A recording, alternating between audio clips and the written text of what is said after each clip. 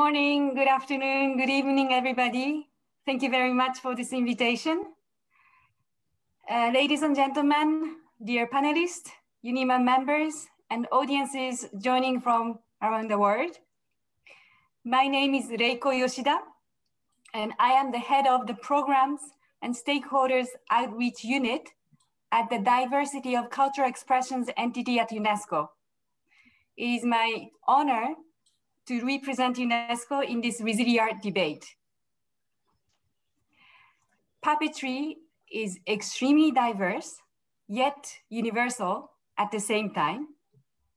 Its ever evolving art forms, pursuit of artistic freedom, and contributions to communities embody the spirit of UNESCO's work in culture. They're especially relevant to the UNESCO 2005 Convention on the protection and promotion of the diversity of cultural expressions, and also the 2003 Convention for the safeguarding of the intangible cultural heritage. The COVID-19 crisis has decimated the culture sector across the board. The performing arts industry, which rely on shared spaces and experiences, has gotten a particularly severe blow. Many community-based theaters fear that the prolonged closure will become permanent. Today, we are at the risk of losing small yet very powerful voices in the arts. And this is why on 15th of April 2020 last year, UNESCO launched the Resiliart movement to provide, to provide a platform for cultural professionals to speak up and to be heard. To this day, more than 240 debates have been organized, involving more than 110 countries. And as you know very well, UNIMA has been one of the most active organizers of all. While the obstacles faced by artists are enormous, and so many, one challenge that was shared by panelists from all regions was the social and economic precariousness of culture practitioners. Sadly, these issues are not new. The pandemic didn't create these issues. They merely exacerbated. And in 1980, the recommendation concerning the state of the artist was adopted at UNESCO, and it calls the member states to address the lack of social security available to artists, insufficient safeguarding measures for artistic freedom, and limited training opportunities. Some 40 years later, we still have a long way to go. The year 2021 is a watershed mo moment for the puppetry and the cultural and creative industries at large. How we, how we rebuild and position culture in the COVID-19 recovery plans will have a long lasting impact on the flourish and dignity of the creative communities. This year is also the International Year of Creative Economy for Sustainable Development, and UNESCO will highlight the creative sector's economic contributions, such as job creation and income generation, but also the social contributions such as solidarity and tolerance. And these are all essential in ingredients for stronger and more resilient post-COVID societies. In 2020, we also witnessed remarkable inventiveness and resilience from artistic communities. And the puppetry world is no exception. Through UNIMA's Resiliart debate series, 19 national and international discussions were held from China to Venezuela, Mexico to Bel Bel Belgium, India, Finland, the Republic of Korea, and many more. UNIMA Resiliart shows the puppetry's potential to promote and facilitate intercultural dialogue in a world where travel restrictions increase and borders remain sealed. It is therefore an immense pleasure for UNESCO to mark this landstone of the 20th Resiliart debate as a partner. The International Puppetry Day is an opportunity to honor puppetry's dynamism, historical richness, and community of artists who continue to contribute to our well-being. And tomorrow, UNESCO will be joining the puppetry community in this celebration. Thank you very much, and I wish you a fruitful discussion.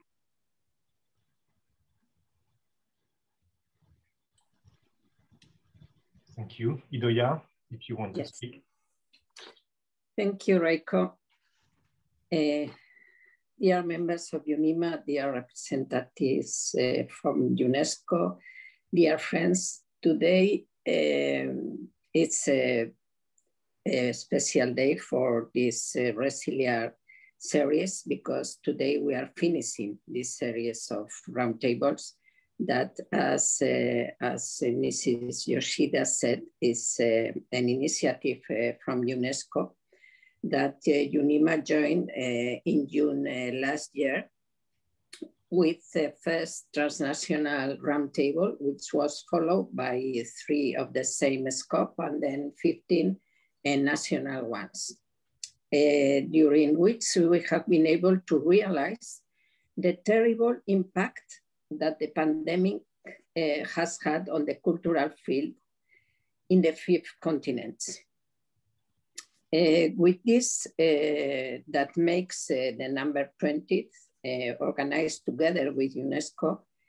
Uh, for us, it is, it is a great honor. With this, we finish this series, and it is a great honor for us because it is organized together with UNESCO and after 61 years of uh, being member of UNESCO, as, uh, as you know, uh, UNIMA is member of UNESCO, and uh, 41 years uh, having the consultative statutes of organization in UNESCO, is the first important debate that we organized together with UNESCO. So for us, it's a great honor. And in this special situation that we are living. Um, in some countries, as, uh, such as uh, Germany, France, or Spain, uh, the governments uh, have helped the, the artists uh, to some extent. But even so, the situation is extremely difficult. The artists are, as we have uh, seen in the debates we have had, the artists are in a very, very difficult situation. From UNIMA, even being an association with limited uh, financial means, we have tried to help uh, the artists in some ways uh, through the aid campaign coordinated by the Cooperation Commission, a crowdfunding campaign through which we have helped uh, two, 263 families from 15 countries these families were in a really desperate situation. We know it's not a, a big uh, number, but we do what, uh, we, what we can. Another way to help is uh, the cancellation of uh, membership fees of the, of the centers. The centers are uh, some centers are in a really very, very bad situation, so they cannot even pay the, the, the membership fees uh, to the international, to the, to the association. So we condemn them to, to pay the, the membership uh, fee. Uh, to those that have really big financial problems. And finally, we help them also being together with those people that um, that are uh, having these uh, big problems, linked them to one to the other and trying to help them in the same way we can. Listen, listening them and being with them. That I think that sometimes this is also very important. So uh, we are always uh, willing to listen them and to try to help them. Uh, the 19 round tables that we have done so far have shown us the fragility of the puppetry art. But at the same time, they have taught us the great capacity and the great future that the puppetry art has, such as, for instance, the distance learning or online exhibitions. Our institutions must be aware of the enormous potentials of the puppetry art, of the economic, economic values of the culture, and they couldn't, they mustn't be, they couldn't let us alone. They must help us in these moments that we are suffering so much. For instance, in, in Spain, we have just finished a study that indicates that 30% of the total of theater spectators, 30% are from puppet theater. This is a very big uh, amount of spectators, 30%. And the turnover for the year 2018 was 55 million of euros. So this indicates the huge potential of the puppetry art. So I think that the, gover the governors, the institution, should be aware of that. They cannot let puppetry art as they have been doing up to now, as if the puppetry art is something, um, it's uh, like the,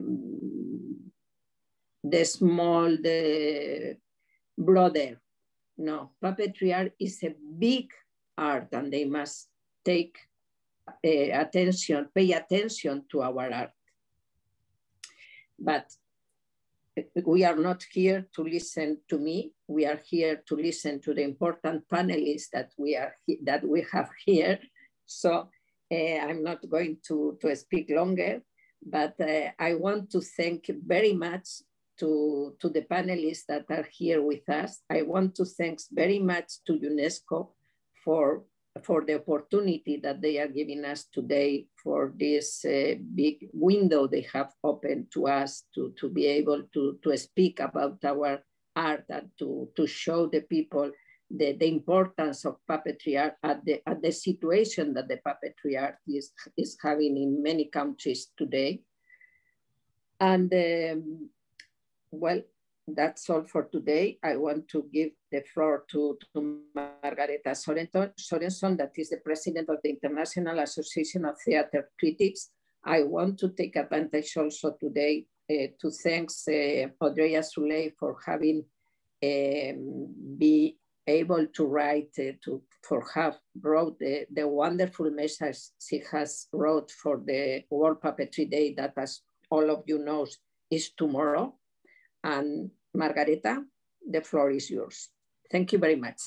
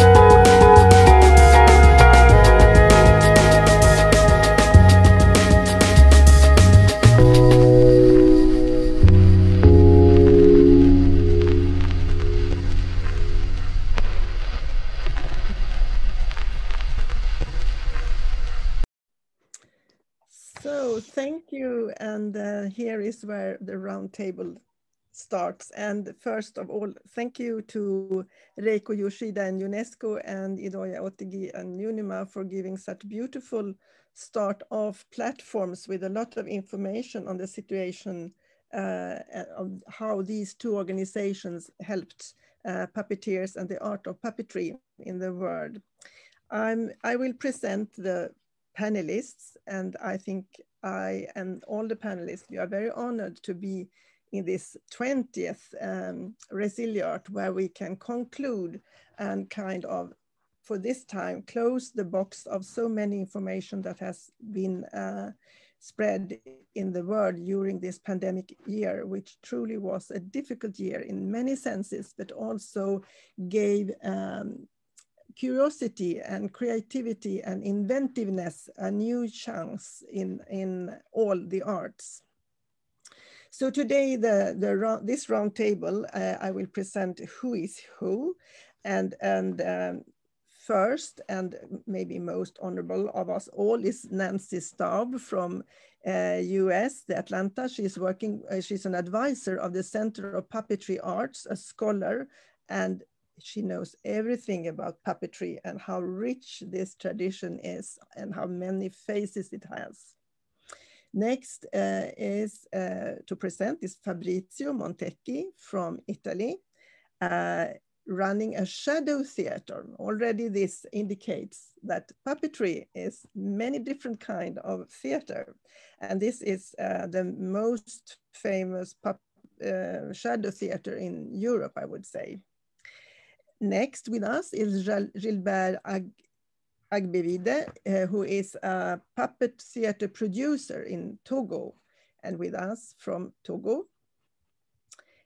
The, the youngest participant uh, in the panel is Oksana uh, Byrliba, who is a member of a Russian theater group, a puppet theater group uh, outside of Moscow.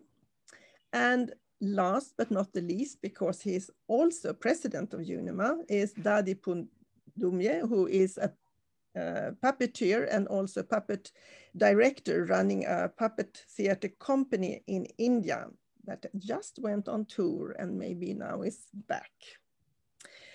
And uh, did I hope I did not forget to say something important about anyone, but uh, we will try to have this uh, roundtable as conversation-like as possible. So it, everyone is allowed to put questions and to interfere, but we have made a structure that we will first talk about the pandemic, but as a, as you know, I'm a theater critic, so I might be more interested in aesthetics than in economics and how an art form develops. And I think already before the pandemic, uh, puppetry is among the uh, stage arts, which is uh, most developing right now, I think. It's very inventive and it also um, able to develop technical means which maybe not all other theater forms might do. So we will talk about aesthetics as well as uh, economy and social issues. And of course, they, it, they are, have been very difficult. Um, for instance, uh, I will turn first to Fabrizio, who will uh, tell us a little about his own um, discovery of, uh, you know, in the world, many people see uh, puppet theaters are very small some of them are only touring and uh, the old tradition was it was family companies even so that's not no longer very often the case but it's still there are still some but uh, I think Fabrizio, you kind of discovered also how vulnerable uh, this art form might be because it is has such free, uh, tra the tradition is very free and a bit bohemic. What would you like to say about this?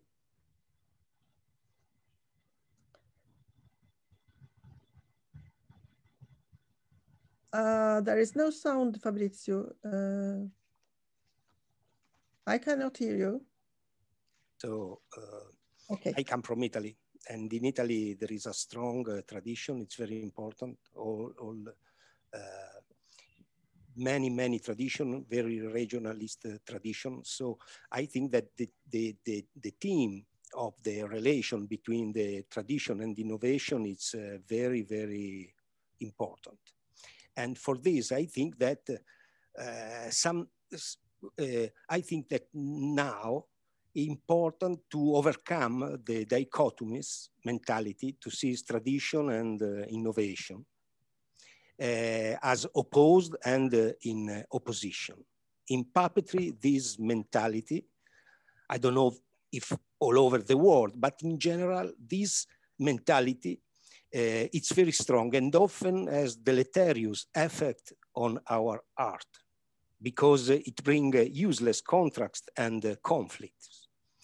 Proponents of innovation tend to think that tradition is the defense of borders with impossible walls. While on the part of the supporters of tradition, that think that innovation is the abolition of any border. The champions of tradition attribute to it a sort of moral superiority, while the champions of uh, innovation claim is a aesthetics uh, superiority. In reality, we think with this mentality confuse, I think, the correct uh, meaning of the terms. Tradition does not mean traditionalism, which instead defines a truly conservative and reactionary attitude.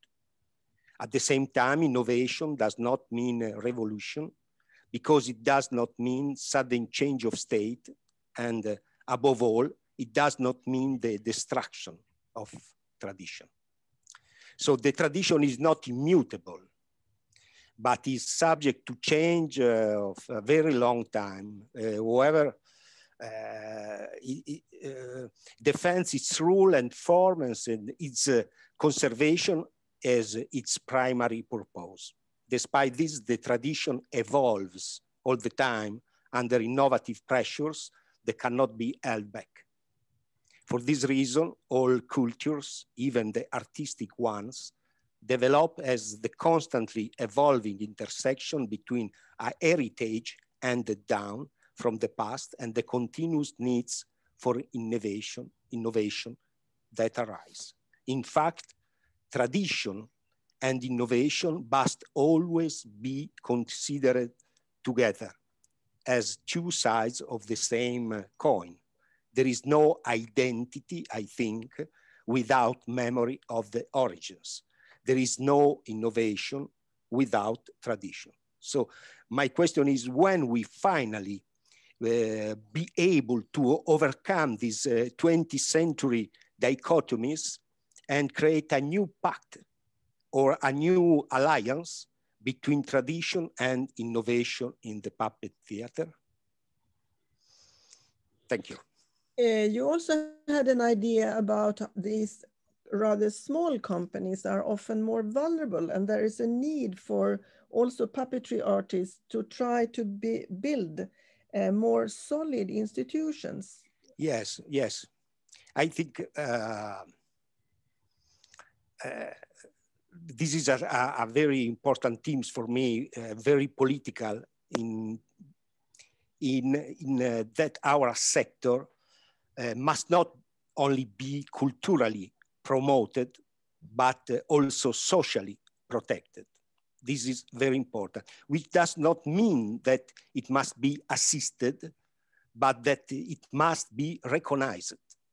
But for this uh, recognition to take place, we must first get out of that isolation in which we often lock ourselves in, because many of the critical issues in our sector are common to the other sector of the theater. And it's therefore essential, essential to open up network dialogue with the world that uh, surround us and develop trans-sectoral synergistic uh, actions. But my impression, however, is that in the world of uh, puppet theater, there is a great resistance on the part of many to open up, to overcome a kind of anarchist individualism that sees institutions as a danger for the artistic work, considered uh, the, uh, uh, the only, the artist, only creator of uh, himself. These artists or these artistic groups who live without access to public contribution and therefore with merit only from their work, seem to prefer a certain social marginality rather than being subjected to constraints and conditions imposed by others. This choice must be respected for me, but it makes it difficult for the social recognition I was talking about before.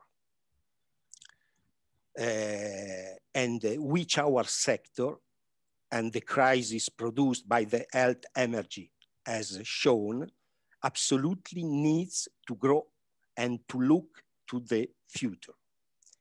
The choice to live on the margins is legitimate, but concern the individual artist, not an entire sector.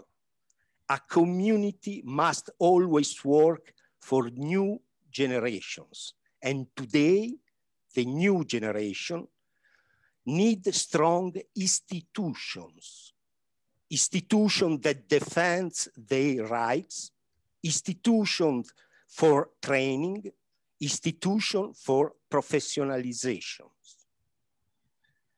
The free and casual approach uh, with uh, which our generation grow up is not longer enough. My question is, are we willing to have this social recognition to carry out a cultural battle within ourselves? Thank you. Thank you again. And, and my impression, again, as a critic, is that uh, um, puppetry is all over. It is in, in the opera houses, in the other theaters, in dance, and uh, it's really all over the place. And it's a bit strange that anyone could have this feeling that it is so uh, marginalized as I know it often is. We are going to uh, uh, have a look on and to uh, go to Nancy and first we will see some um, pictures, but I would just say one very, the best known uh, sector of puppetry for normal audiences is of course entertainment. And we mustn't forget that this was a, a big a big part of puppetry during uh, centuries and, and longer than that, that it was entertaining.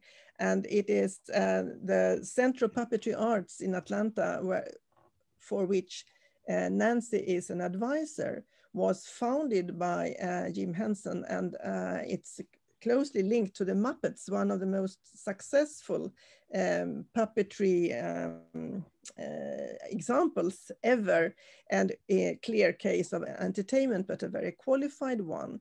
I think we should have a look at uh, a little video from um, uh, this Center of Puppetry Arts, and then Nancy will speak and comment on what we just saw, right, Nancy? That's the way right. we decided. Yeah. yeah so we will, yeah, we will see it first.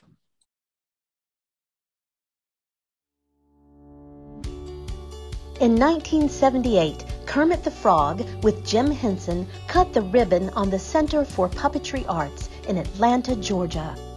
Today, the center is the largest nonprofit in the U.S. dedicated to the art of puppetry. Welcoming over 160,000 visitors a year, the center presents over 600 full-scale puppetry performances each season. Its education department offers more than 50 unique programs, including their Create a Puppet workshop, where children can extend their theater experience by creating a theme-based puppet of their very own. The Center's Worlds of Puppetry Museum contains over 4,000 puppets and artifacts, including the largest collection of Jim Henson puppets in the world, along with an immense global collection of puppets from nearly every tradition around the world. For over 20 years, the Center's Digital Learning Department has provided interactive workshops and puppet shows from its digital studios at the Center. As a pioneer in distance learning, the Center's digital team has honed its skills and refined its abilities to deliver and develop purpose-built educational programming. Programming that has been presented in all 50 states and more than 88 countries. In February, the center celebrated Black History Month by putting a conversation with black theater artists in the spotlight to share their stories of struggle and success so that young people of color everywhere could envision a future in the arts for themselves.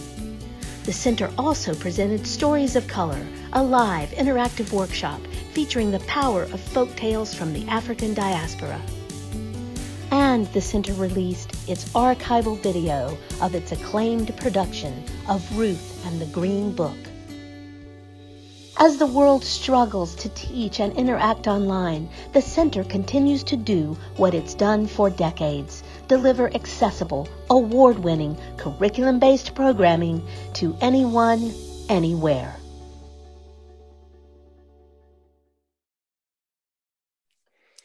So please tell us, you're uh, pioneers in distance learning, and I know that during the pandemic years, uh, many others did uh, tryouts and, and try to uh, follow you, your uh, good example.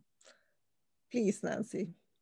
Well, first of all, I want to say Vincent Anthony was the founder and executive director of the Center for Puppetry Arts. Uh, Jim was a very avid supporter and he helped cut the ribbon and he came every year and he gave funding and gave puppets.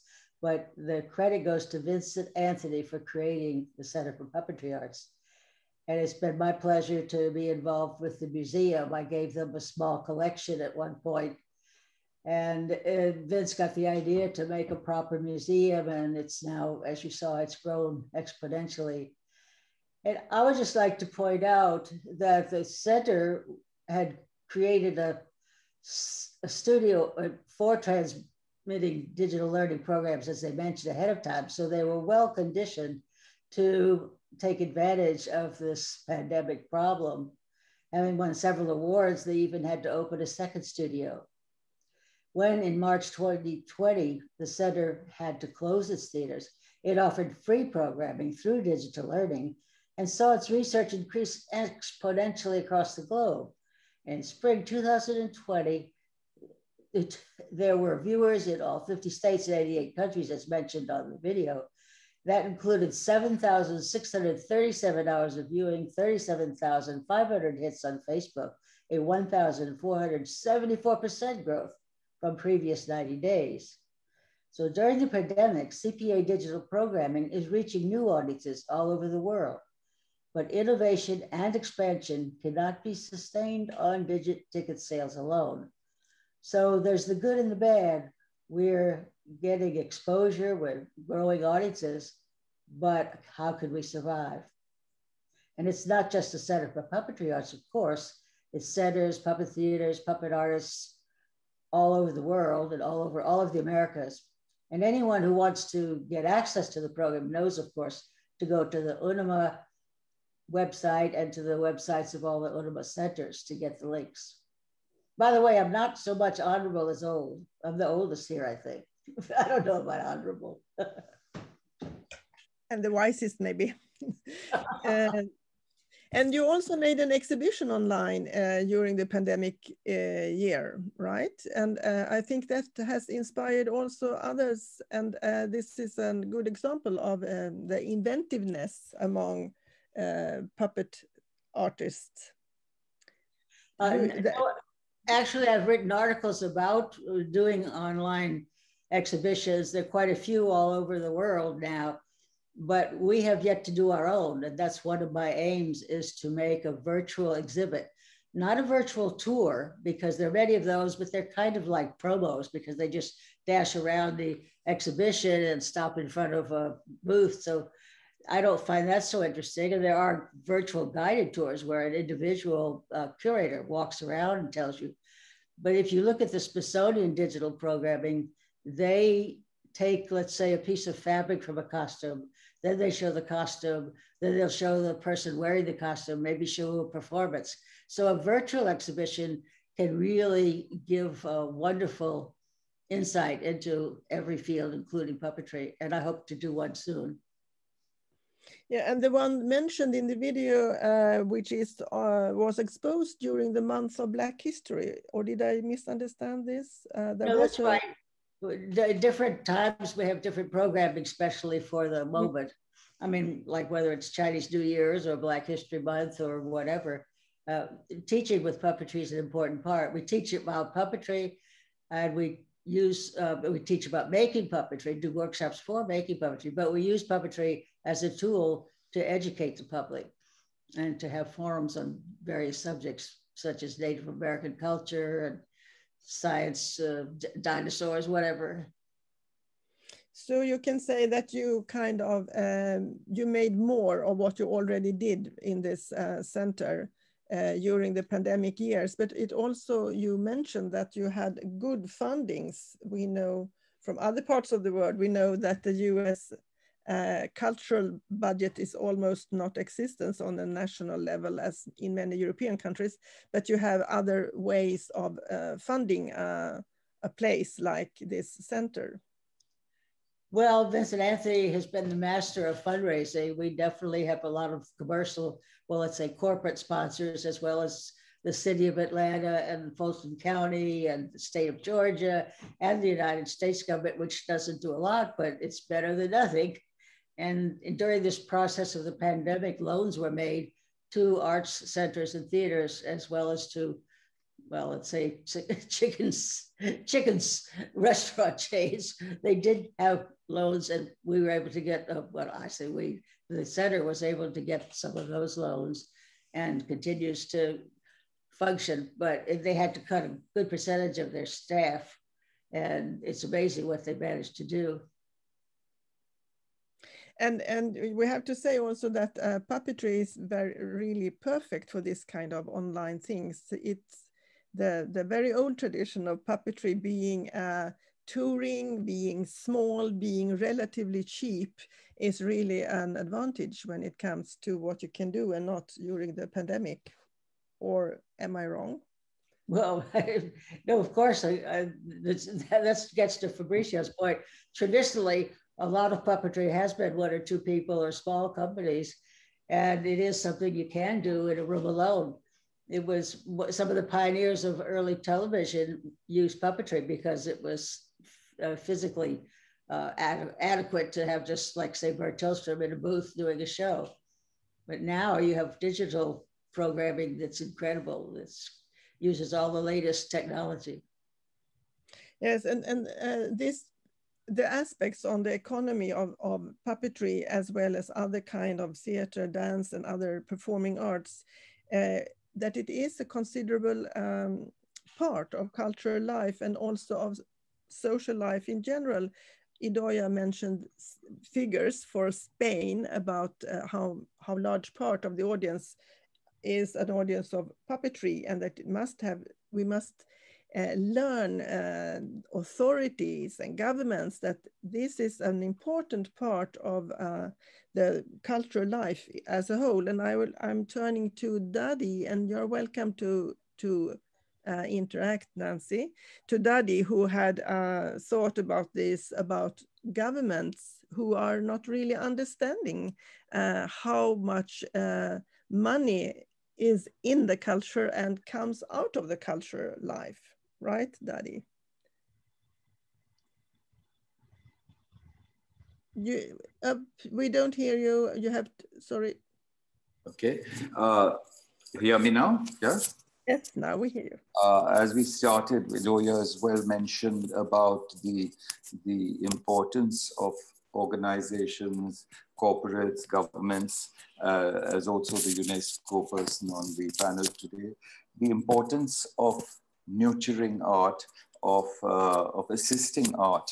Most governments do not see art always as an industry.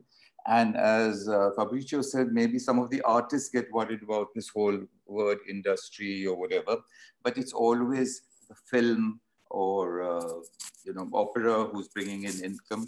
But that's not true. Every artist who's on stage has maybe uh, 12 to 30 people behind him or her. you know, people who clean the stage, people who make costumes, people who make decorations, people who make whatever, uh, set up lights, you know, technical stuff, as and, uh, Nancy just now said. And each of them are uh, getting their bread and butter or earning through art. And it's important that this filters down. It's not just high art in cities, but traditional artists in, in small towns and villages all over the world, Asia, Southeast Asia, families who are working, they may be even working on their own farms, but they still contribute something and to both to society as well as around when there's a festival. Uh, take for instance, one of the largest things in Edinburgh, the festival creates economy in that city. I mean, people come in, things get sold. Uh, uh, take for instance, Charleville all all your rents in Charleville go up when the festival happens. So you know everybody is earning. But it's an important thing. I want to just read a few uh, uh, lines from Sanjoy Roy, who they've been doing research, teamwork arts on creating wealth, as they call it. Uh, he says intervention through the arts creates wealth in a sustained manner, allowing people and their communities to find new ways of overcoming odds and finding unique solutions governments who believe that supporting the creative arts is about handouts, is about just giving aid, need to reassess their policies and invest in the future of its people and provide for sustained arts education to anchor the young to their traditions, culture, inheritance, and history.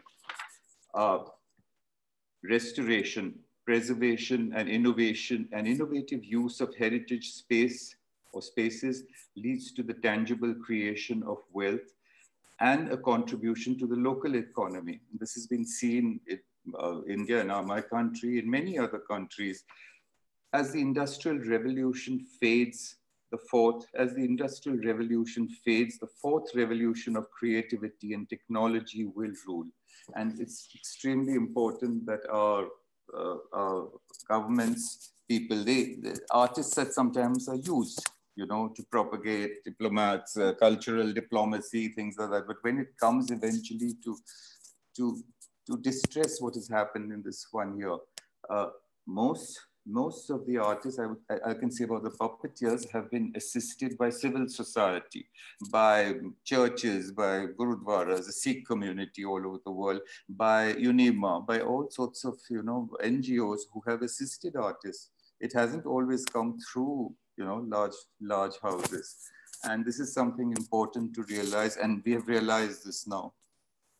Yeah. Uh, would, would you say that there is a particular difficulty for puppetry because puppetry has not the same reputation as famous choreographers, famous opera directors.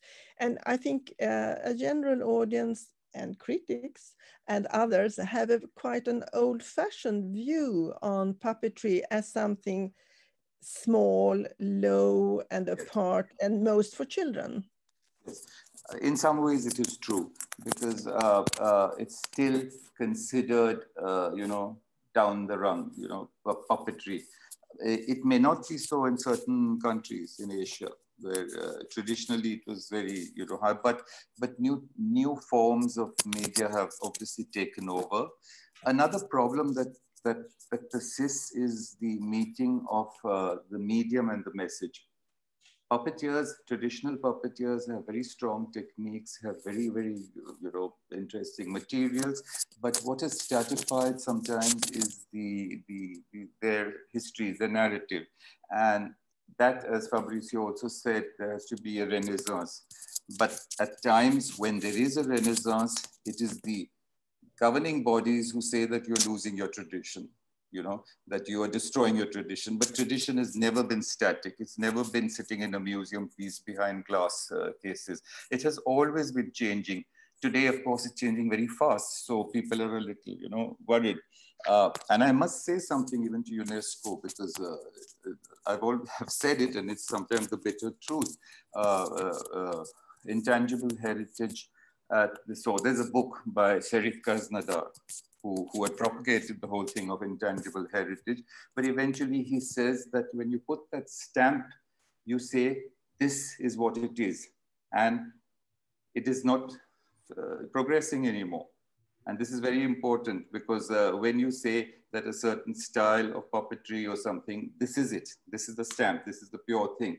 But after after that, what happens to it? You know, that is okay. Then it becomes what you have as the showpiece. But then people create. Traditional artists create. You know, it's never static. And this is something important for all of us to realize at some point of time, because that is the livelihood that will keep the art alive. So maybe maybe authorities and governments and others should need a, a lesson in puppet history to know better. Uh, Oksana, you have experienced yourself that you have to uh, really change uh, a lot from the tradition uh, when uh, the pandemic struck Russia, as many other countries. You, your theater company, the theater group, you changed completely and and started to do outdoor things. please tell us about it. Hello to everybody. First of all, I want to thank for the opportunity to take part in such great discussion. And uh, to begin with, uh, I want to uh, shortly introduce our group theater called uh, Eskizy в пространстве. The translation is uh, Outlines in Space. And um, the reason that we choose this name is that we, um, the main instrument in our works is environment, area, and space. And uh, we do uh, from chamber performances to street performances. And during the period of pandemic we specialized uh, uh especially on uh, street performances. Uh, so um, we use puppets life-size puppets in our street performances. And these puppets are large uh, with mechanisms and actors can manipulate them uh, or put them on the, their own back. Uh, so also the actors can dry them. Uh, and um, mm, uh, because we uh, do performance in street realities, it's appropriate for, for all categories of spectators adults, children, for everyone. Um, and um, of course, um, during the period of pandemic, we try to uh, investigate new version of the theater and um, uh, investigate the, the, village theater. We bought uh, the house outside the city in countryside and uh, made uh, it and the area nearby the house as a place we can perform. We uh, did uh, some workshops where there are creative laboratories and uh, also we uh, live there. Um, and uh, what's about the support?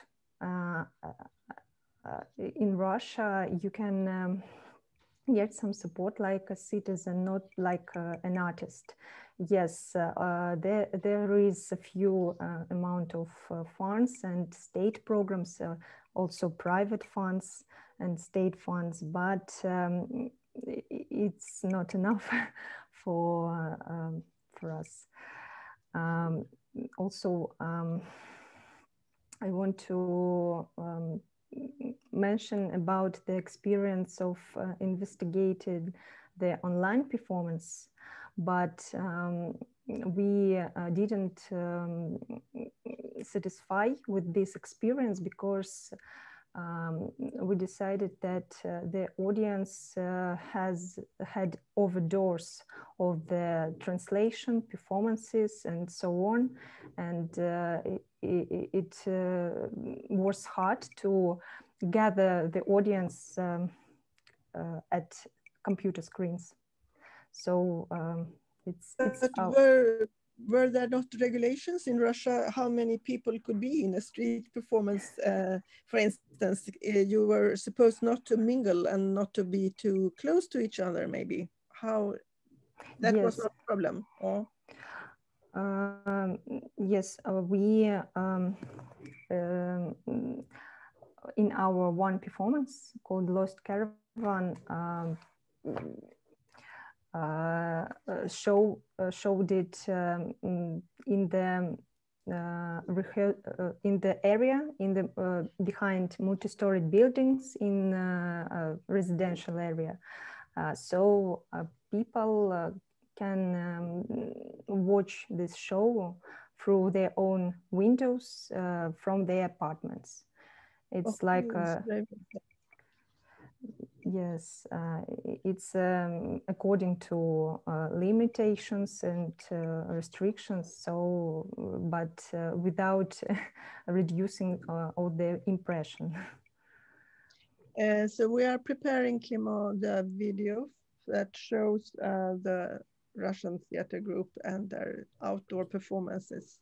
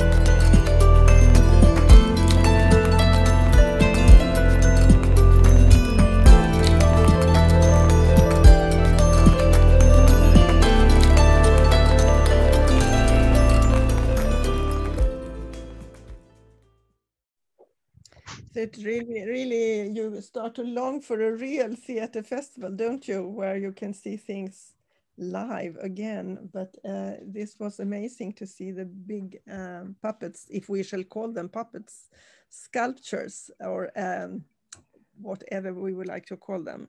So uh, we are at this panel, we are people are coming from very different parts of the world and as structures and economy is organized in different ways. And when I talked to Gilbert from uh, Togo, you said that it was uh, super complicated the time of the during the uh, pandemic, but that the pandemic opened a new page for puppetry.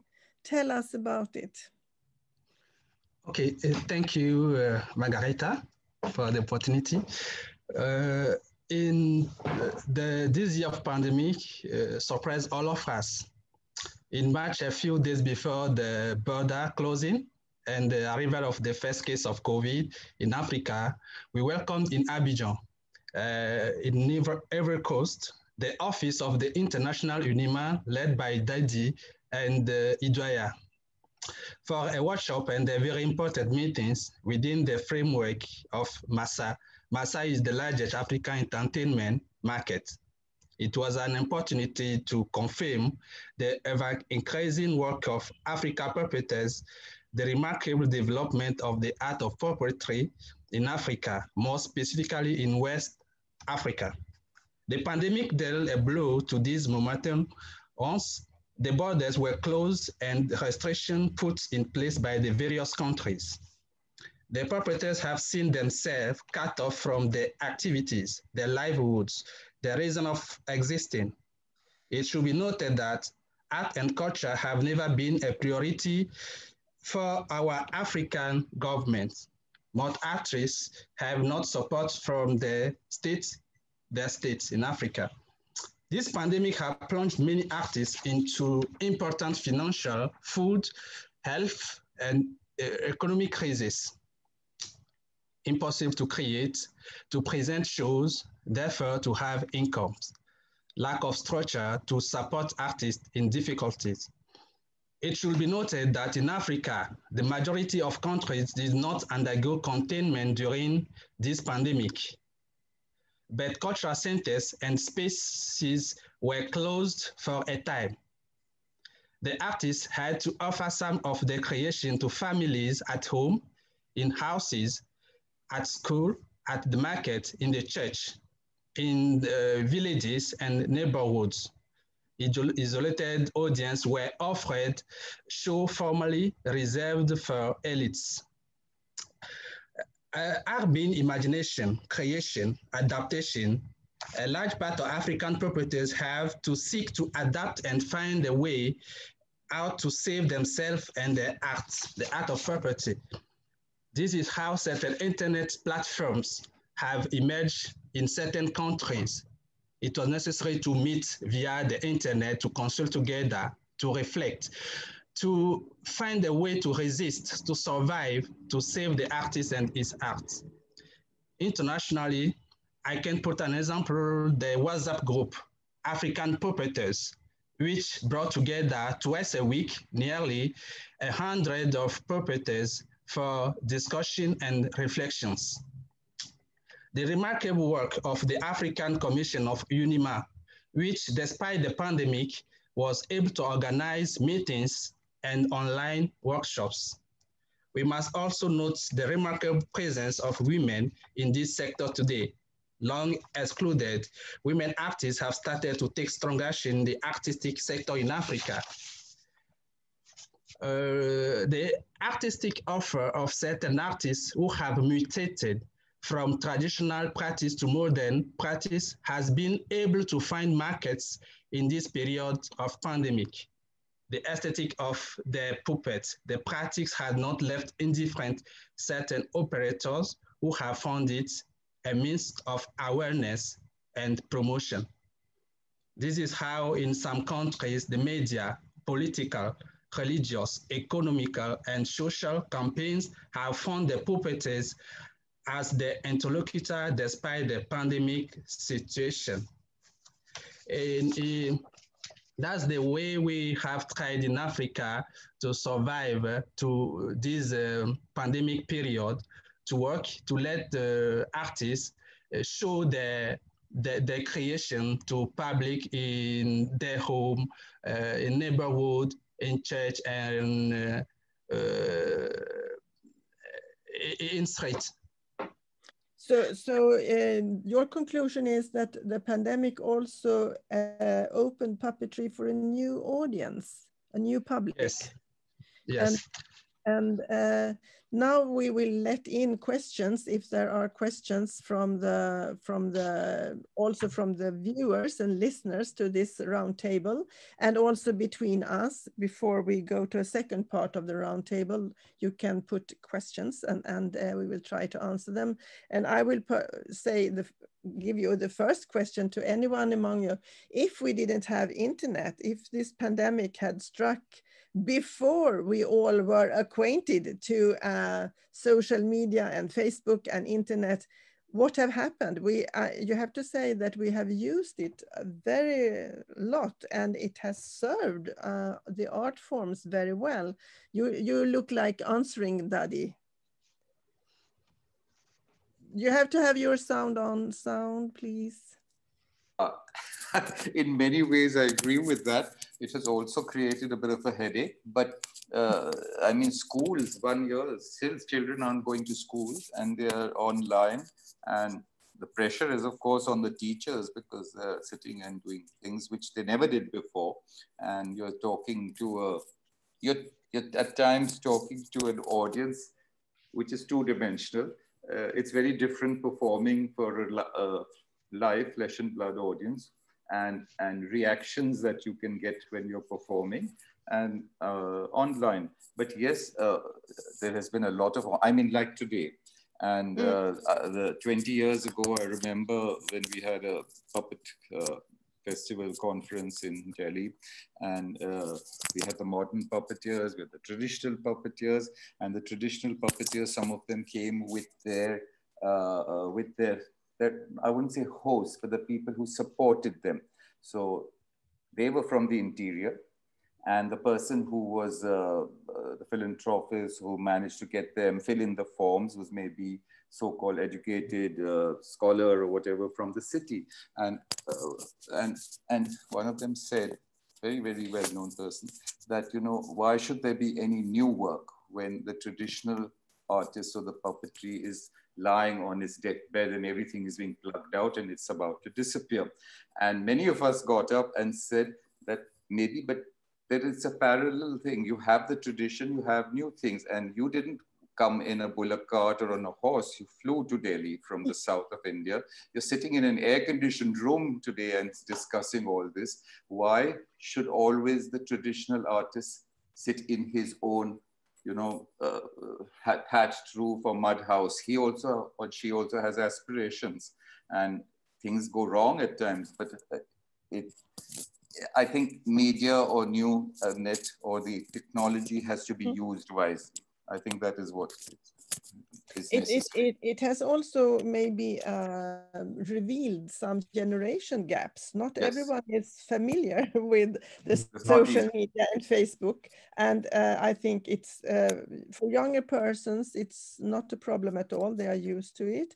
But on the other hand, a lot of middle-aged people have learned to um, communicate by internet and to to uh, yeah to use it and yeah uh, Clément, is there some questions coming from our listeners or viewers or uh, maybe we should uh, the yes there is uh, one question on the chat yes? it is uh, what recommendation do each of the panelists have in helping uh, puppeteer become more knowledgeable in advocacy and funding option in each of their respective country?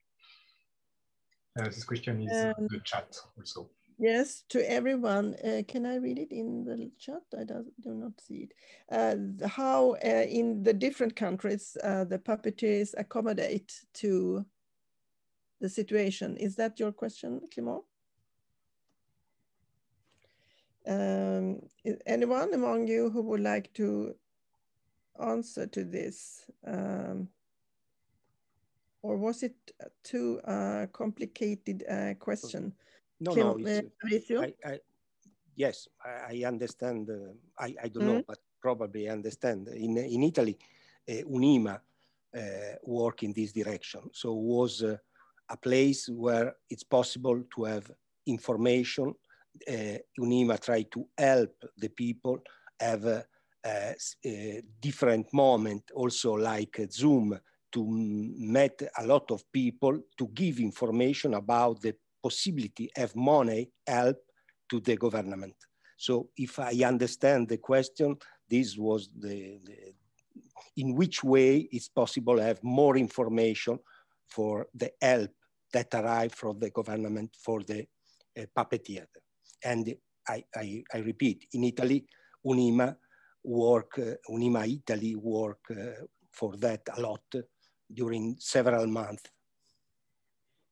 So maybe also the pandemic woke up uh, Unima in some countries and and make uh, made the work more intense. Would you say that for Russia or Togo? You, you already mentioned it, Gilbert. I think. What about Russia? Is Unima more alert today?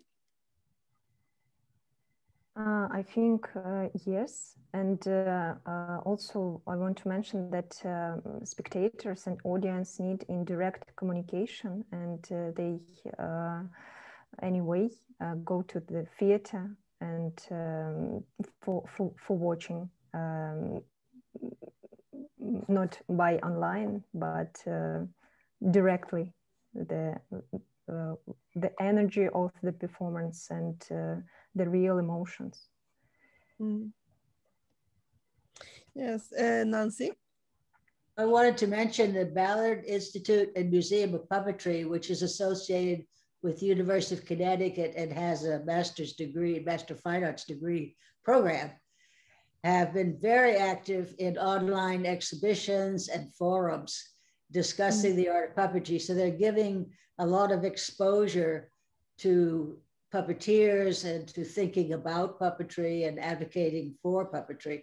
So they've been a big help. But again, it's because they're funded by the university and a few donations so that the, it, it's always this pandemic has helped spread the word about puppetry but how do we find the money to sustain it that's always that's the question that's a brilliant uh, thing to say before we have a little uh, intermission where we are going to see um, how uh, such a lot of uh, the UNIMA or, or, or, puppetry that is a part of the UNESCO's list of heritage, uh, cultural heritage. And um, uh, to the viewers, maybe most of our viewers are very familiar with puppetry as an art form, but still uh, it is a good thing to remind yourself how rich it is, how many different kind of puppetry techniques and storytelling there are, and how important part it always played in theatrical life. I think we will have a little look on this um, mm, exposure of uh, puppetry as a cultural heritage, and then we will go on talking about uh, how the pandemic maybe also pushed uh, puppetry forward uh, in uh, terms of aesthetics the video, please. Thank you.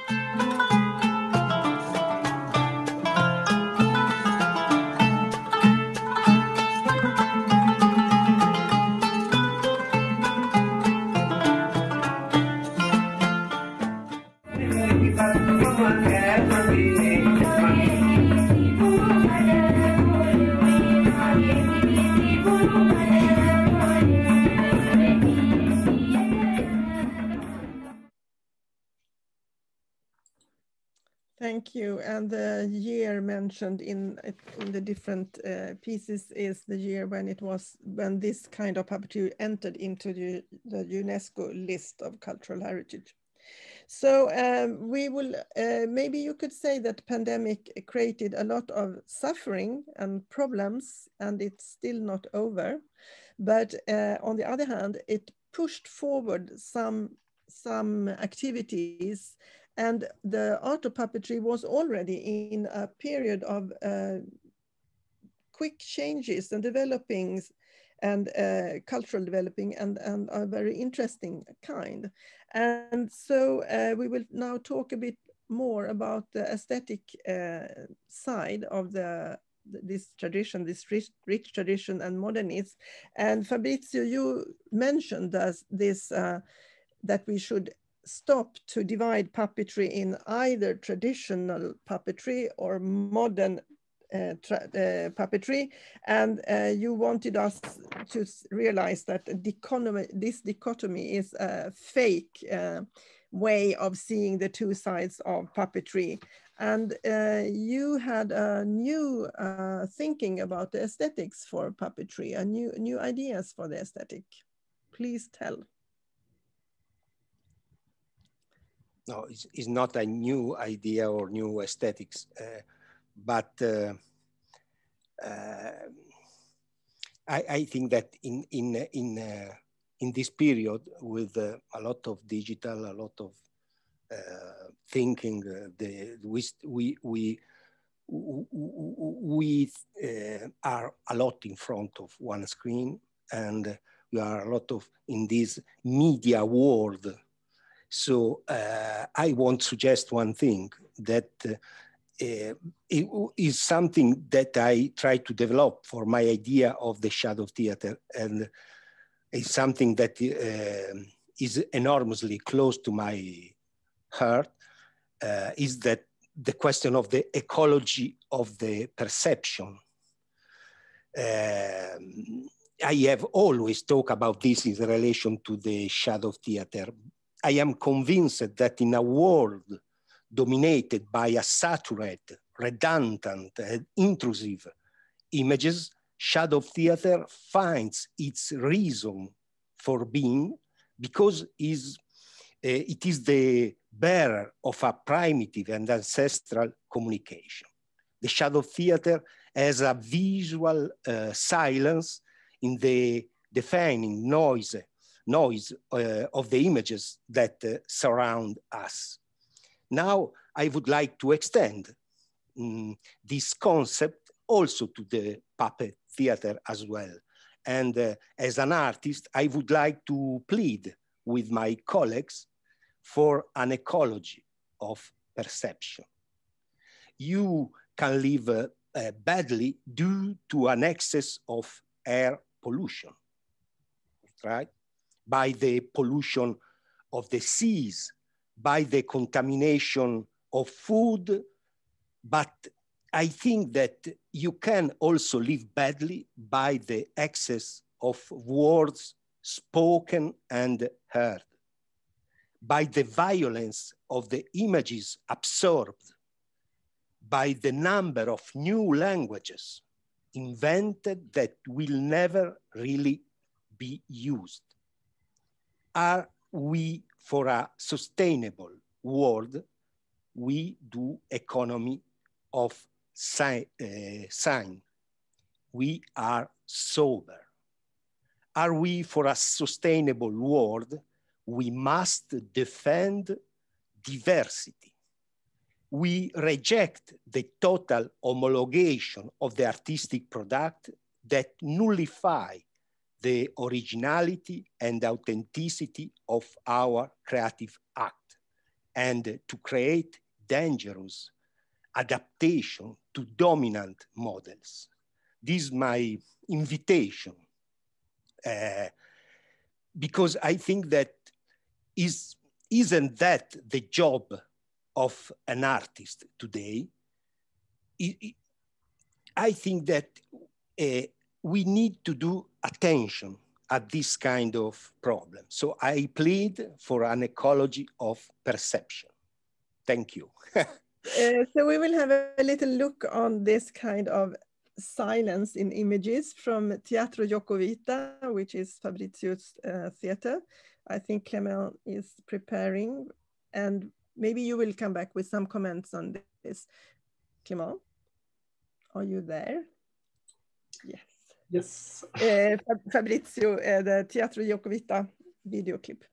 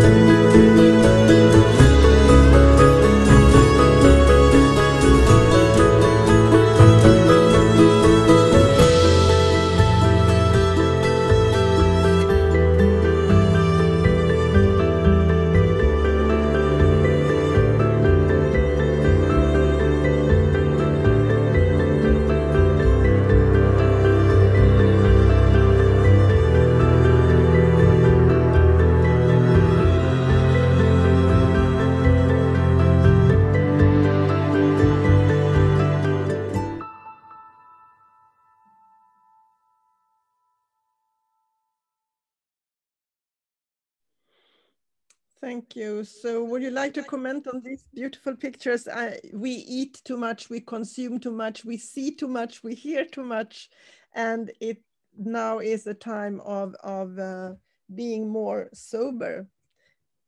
Yeah, yeah. I, I, I think that uh, this is the function of the, an artist. If the society go too fast, we go slowly uh, we not need to go in the same direction of the society because uh, if, if we are totally agree, totally inside our society, we lost our, uh, our uh, prim primary function as an artist.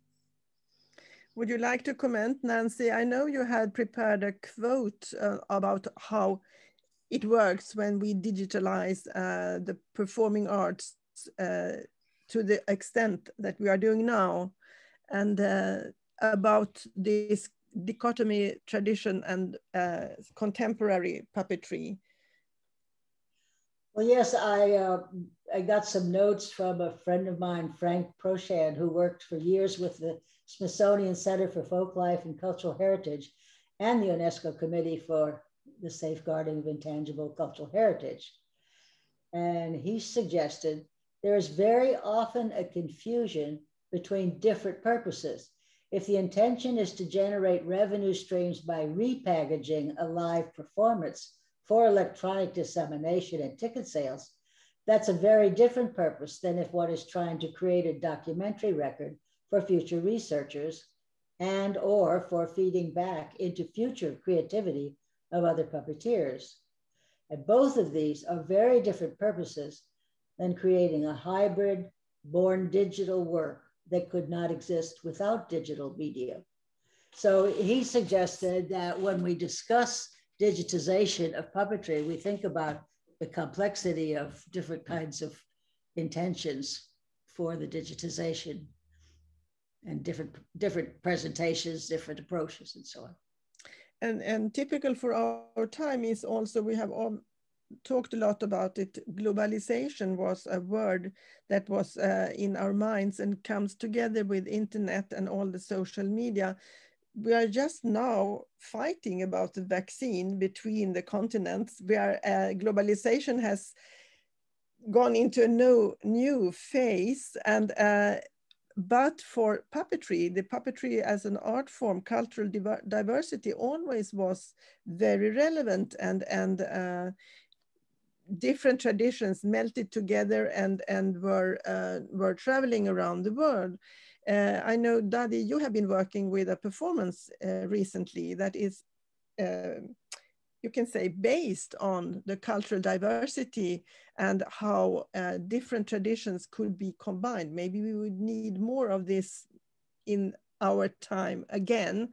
Uh, we can not just lean back and think globalization is done and that everyone sympathizes with it.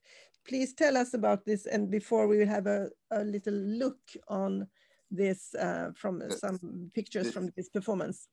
This performance uh, was created, uh, it's now, well, last year is definitely disappeared, but it was, it was commissioned by the National Center for Performing Arts. Once in a while we get a good commission and uh, it starts with actually handmade paper. And uh, Neeta Premchand in Mumbai, in Bombay, used to research a special type of handmade paper, which was all made by these families traditionally, in the middle of India, for Mughal miniature paintings. Extremely fine handmade paper. And today, due to the new BT genetic cotton, they cannot make this paper anymore because the cotton knots and it drops when they're lifting the paper. Anyway, so she, she illustrated three children's books on the stories of the flood. Everybody knows Noah's Ark flood, but there's a Gilgamesh story about immortality. There is a thing on Manu in India, which is also about the flood. And the, the, the, the National Center said we would like to put these three stories together with especially symphonic museum, which was uh, uh, written by Ira Ishmaruto, daughter Russian, who now lives in Canada, a very pro prolific composer, and it would be played live. that is where your technology helped. I'm sitting here, this composer in Canada, other people in Mumbai, the conductor is somewhere else. And we were working on this and eventually it all came together just one day before the performance in Mumbai. But the stories start with this texture of handmade paper and block printing. And the idea is to say that as human beings, we all at the core are the same uh, all our stories are very similar and we are the same. So instead of, uh, you know, creating the divisions, let us, let us celebrate our diversity. And that's how these three stories were put together.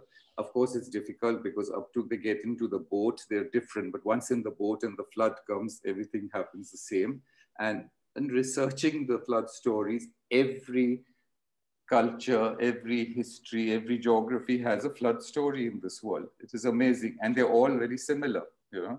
So anyway, uh, that's how when land becomes water happen. And it also talks about a bit about ecology, you know, different things.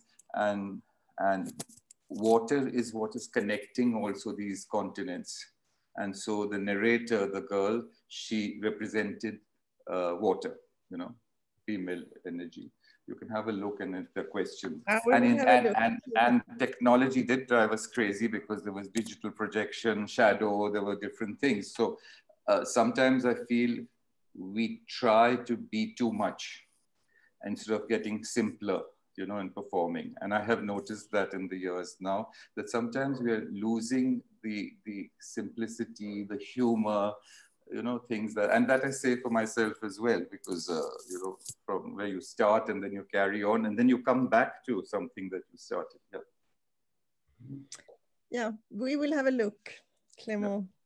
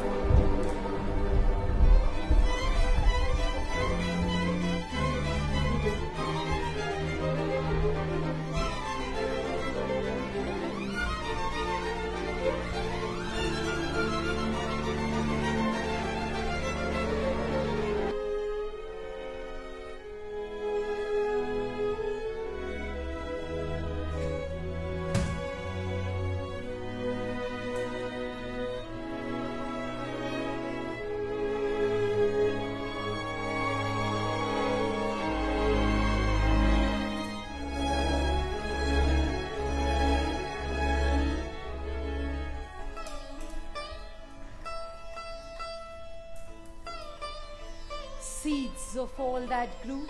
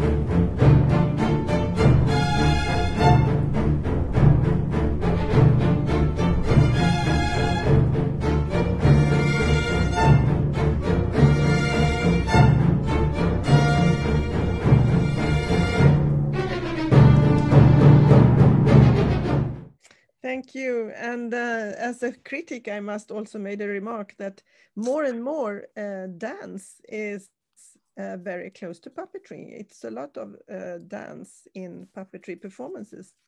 A lot of movement, in, uh, a lot of yes. movement, yeah. and uh, and maybe that that inspiration originally comes from Stockholm, from Michael Meschke, and using the the live actor and the puppeteer in, from the school when I was there, and puppetry more for adults as well, not just kids.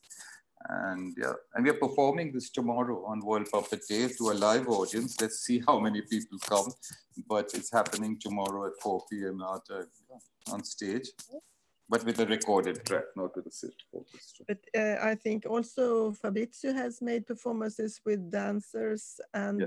shadows, and I think I see this bit everywhere. And I call movement, but I will call it dance and uh, also the di diversity of yeah sorry an interesting quote again from Meschke uh, uh, that use puppetry as a means, not as an ends in itself. Use puppetry as a means of telling the story, not just as a be all and all and ends in itself. And so you are using movement, dance, theater, uh, text, whatever. This was something. Yeah, more and more uh, puppetry is what was called by early modernism a Gesamtkunstwerk, a total piece of art. Uh, and also the diversity, uh, Oksana, the caravan we saw, it's based on an Arabic uh, story, isn't it so? Uh, is, uh, it is um, made uh, as a result of inspiration of traveling through some countries of our group, uh, from through India, for example, and Turkey, and so this.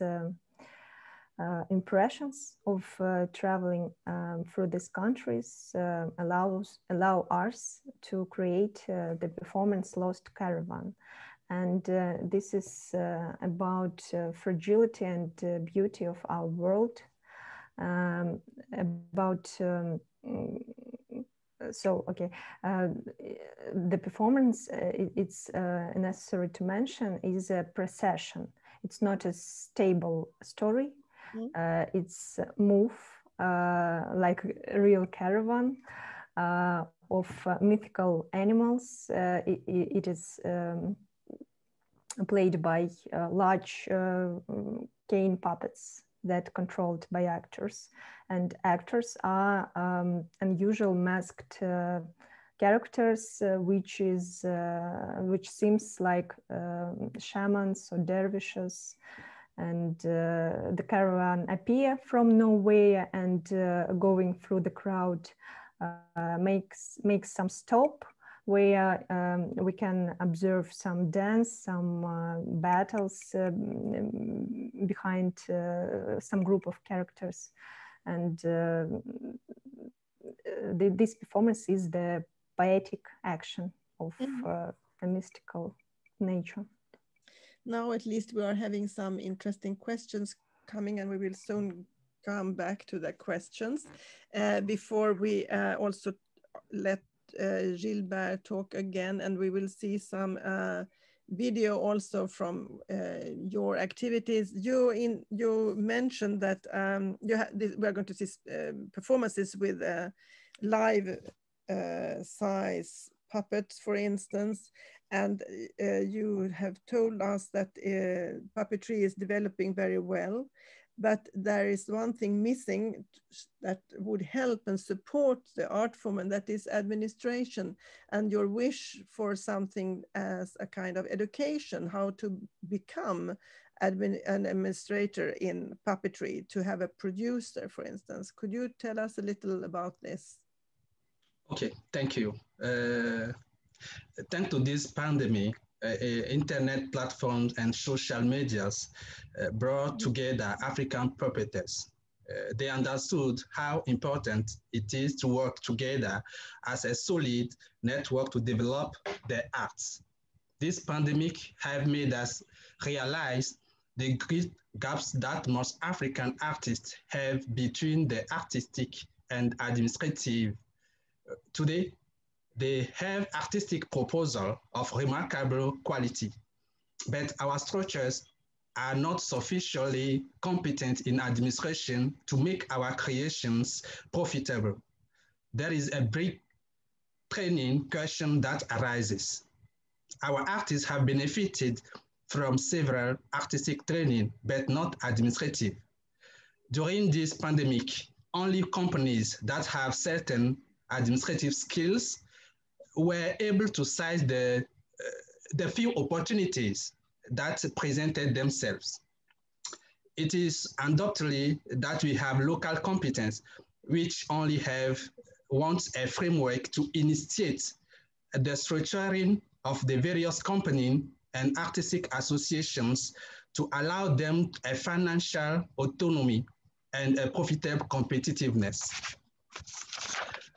One of our projects set up in uh, uh, 2019 is a project called Women in Creation, co-funded by Interact and European Union uh, through KAWA, Culture at Work Africa, which bring together about 15 women from several countries in West Africa sub-region. This project allow participants to train and initiate projects between themselves. Uh, so today, many of them are arise themselves internationally, having their own association, initiating festivals for female creations. The Maru Network that we set up five years ago, which is an African network uh, of festival in public space, has given a major boost to the art of puppetry in Africa today we have 15 festivals from 10 African, uh, 10 African member countries. And this network allow artists to have some uh, training in administration, production, and this network allow artists to see their creation scheduled at several festivals in this network. This is considered response to the local economy. Artists are not obliged today to go to Europe or America before being paid for their creation. It is possible for the artists make profitable their creation locally in Africa.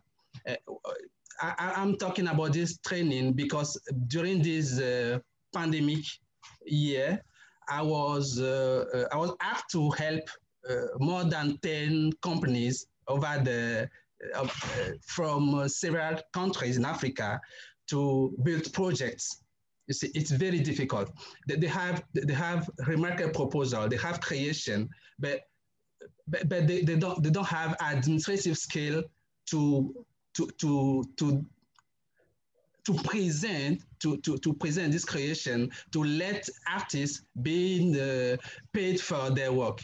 That's why I'm saying is very very important for we African pro producers or uh, even uh, puppeteers to be trained locally because we have economic, we have locally economic attitude to be profitable for our creation. Thank you. Thank you. That's that's interesting remarks about the need for uh, more knowledge in also uh, how to make institutions for puppetry solid.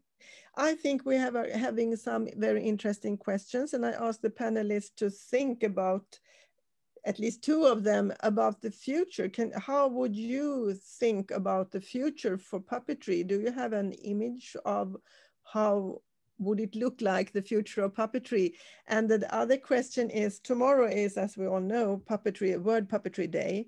And uh, does it have an importance? And uh, I will ask uh, Clement to let us see the video from uh, West Africa, from uh, Togo and uh, Cote d'Ivoire. And we will go to the questions afterwards. And then we have to think about the time as well. Okay, thank you, Clement.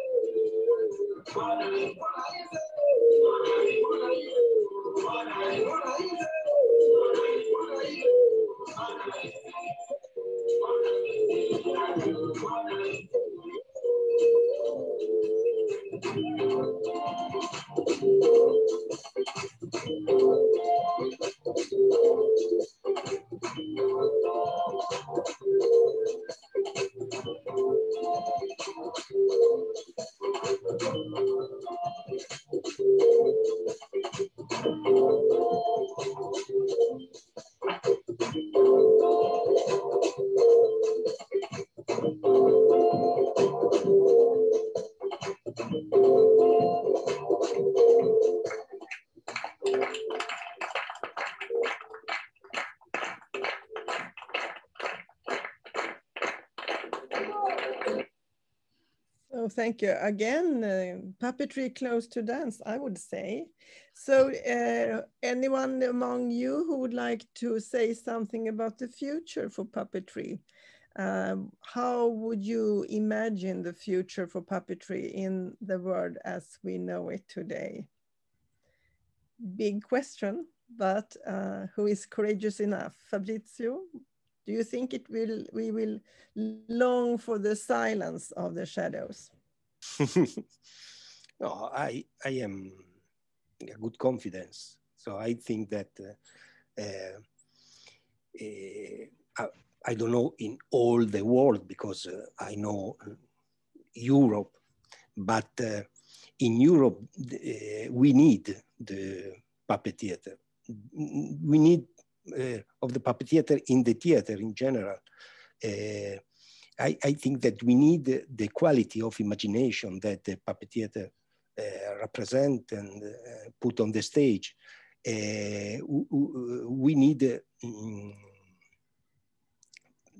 the puppet theater because uh, I think that is one way to tell about the world that is very uh, uh, contemporary. So we need of this.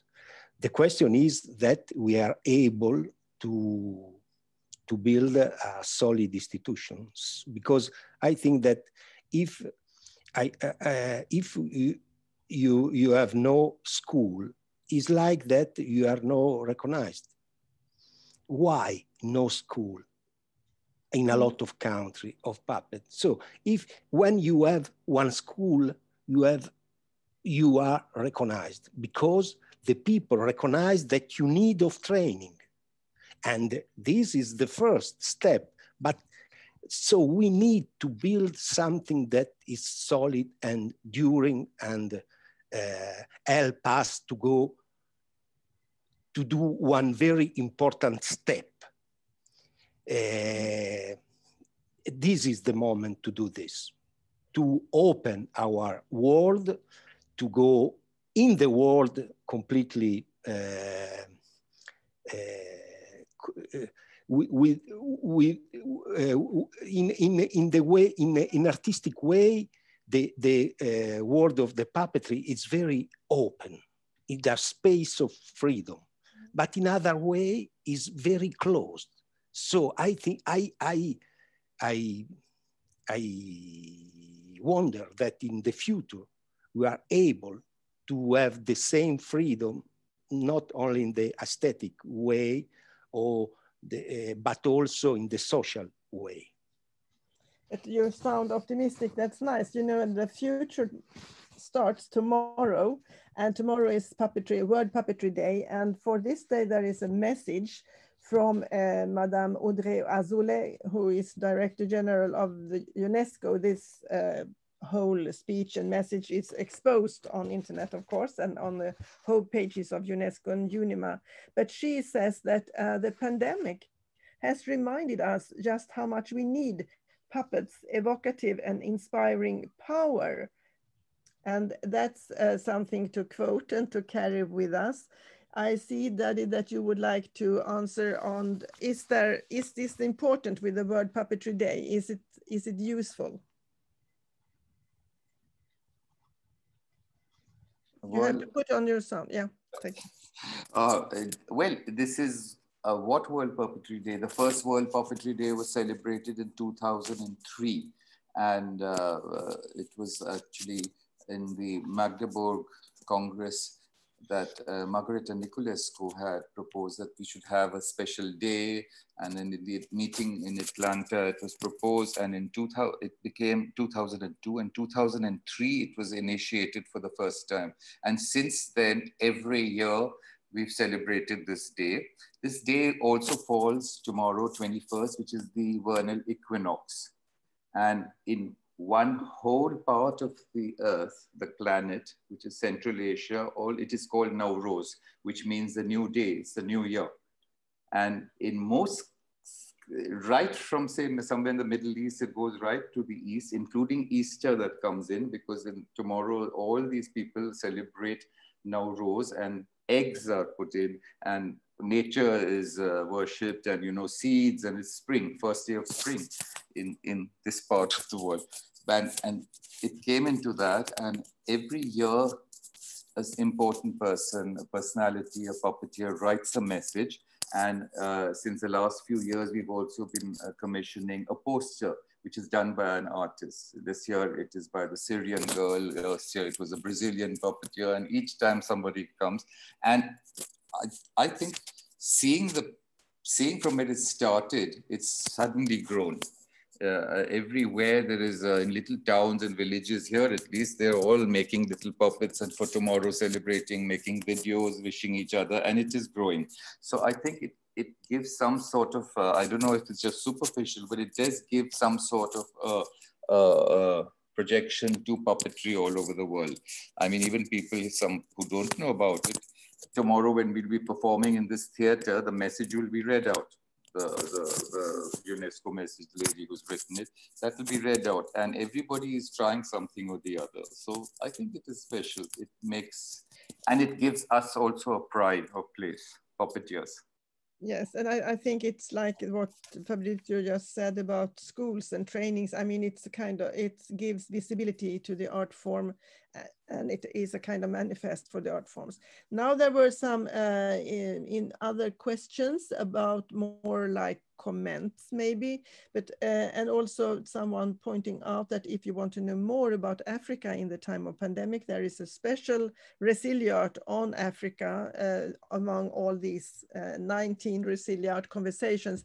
And that goes for, if you look at the UNIMA homepage, you will see uh, that there are other ones, specialized Scandinavia, and Korea and so on. And, and they are very informative for anyone who would like to know more about a specific uh, tradition and the region. But I think uh, uh, we are getting close to the end of this um, round table, which really was very round. And I hope you feel that uh, you had uh, place and time enough to say what you wanted. If someone would like to add something uh, special now is the time. Nancy, please. Well, I just wanted to point out that the Muppets have reached millions of people around the world. And it shows that electronic media can be used to a popular end, not just to documentation and not just uh, teaching, but the idea that the Muppets are being even streamed now and uh, Dark Crystal has a prequel and so on. And so it's a question of artistic ingenuity can use the digital uh, forms to be an incredible tool for puppetry. Yeah, wise word, and and uh, I think this panel has, uh, at large, been fairly optimistic. It is a very difficult situation during the pandemic, but uh, many interesting and good things has been shown, and and many puppeteers has uh, been more communicating to each other than ever. Uh, uh, Clément and Idoia, are there other things that should be highlighted uh, or can we say that we are getting to an end of this interesting round table and there are some uh, comments that it has been very interesting and that's nice to hear. I hope so. I would like to say that uh, a, a, report of this, all these ResiliArt uh, roundtables will be done and will be um, present in the Congress, in the Congress of UNIMA, that will be in, in April, and that will be online, and uh, a resume of all these uh, ResiliArt roundtables will be present there. And I think it will be really very, very interesting. That's uh, all from my side. Uh, and thanks again to everybody for, for your very, very interesting participate, participation. Thank you. I think, yes, I think thank our, you to everyone. Yeah, Dadi. I think our World Puppet Day tomorrow is one of the most important ones of all the problems and all the difficulties that everybody has gone through in this whole last year. I, and we hope, we pray that it's a new beginning of the tomorrow. I hope it's possible. And I think we have to think positive because everyone has gone so deep into all their problems, this, that. We've also realized that, because of Resiliart, that we're not alone. Every, the same problems are happening all across the globe. And, uh, you know, there is a solidarity and I hope that we can come out of it and, and yeah, and be happy. Under the, the, um, regarding what you are saying, the, the message of, of Audrey Azoulay is very important for us. The yeah. support of Audrey in the, this special year is very, very important for puppetry art and for puppeteers. I just quoted a few lines from it, but the whole of it will be uh, possible to read at UNIMA's homepage as well. I would just like to thank uh, Clément and Emmanuel for excellent preparations of this roundtable, and Idoia, of course, and uh, everyone responsible in UNIMA and UNESCO. And I think this is, of course, it was longer than expected, the roundtable, it always is. But thank you everyone, and I will uh, say that this is all for today, and uh, maybe we will meet in another roundtable or at the Congress. So bye-bye, and thank you for now.